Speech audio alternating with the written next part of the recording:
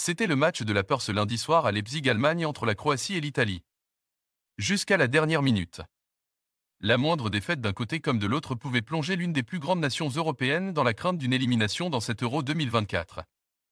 Et à ce jeu-là, la Squadra Azura a réussi à valider son ticket pour les huitièmes à la dernière seconde du match grâce à un but sublime de Zaccani.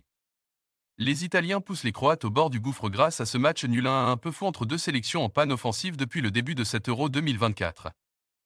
Si les spectateurs du Leipzig Stadion pouvaient croire à une rencontre fermée entre deux des équipes les moins impressionnantes devant les buts depuis le début de cet Euro 2024, d'autant plus avec l'absence de la star italienne Federico Chiesa. Un choix fort de Luciano Spalletti, l'ailier croate Lucas Susic les a fait mentir dès la quatrième minute en envoyant une mine des 25 mètres que Gianluigi Donnarumma a magnifiquement détourné. Les 45 premières minutes, même si nulles et vierges, ont donné lieu à un beau duel de loin entre les deux portiers. D'un côté, le gardien du PSG s'est présenté devant Luka Modric 31e alors que Dominique Livakovic lui a parfaitement répondu à la 26e minute sur une énorme parade devant le coup de tête d'Alessandro Bastoni étonnamment seul sur un centre délicieux de Nicolo Barella.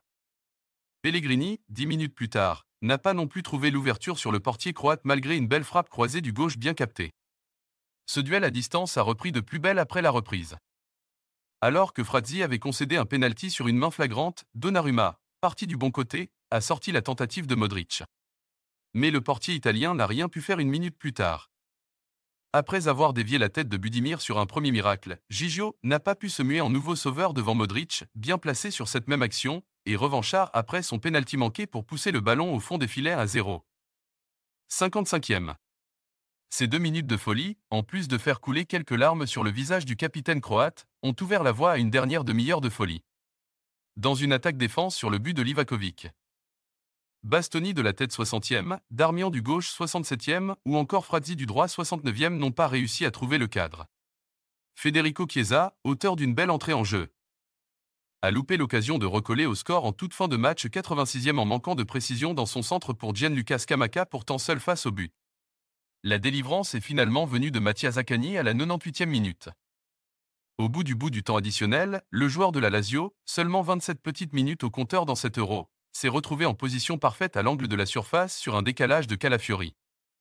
Pour sa septième sélection, celui qui n'avait encore jamais marqué sous le maillot de la Squadra Azura a logé sa frappe enroulée du pied droit directement en pleine lucarne à 1. 98e pour faire lever tout le stade et le banc italien.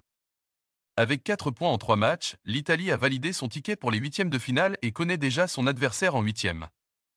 Ce sera la Suisse.